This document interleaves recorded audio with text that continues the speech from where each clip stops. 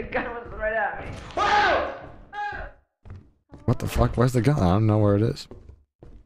Uh, there's a coil head in the lobby.